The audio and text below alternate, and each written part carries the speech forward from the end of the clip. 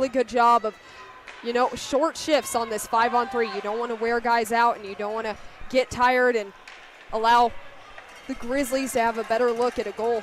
Rauner puts it down low to Kuzmankov. Kuzmankov takes it off the other side.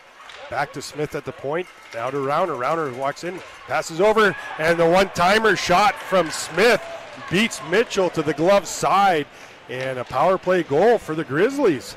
Just keep working at it, pass the puck around, get a good look, and just able to put it in the back of the net. That's simple right there. And that was a really nice blast by Smith, one of the team leaders in points so far this season.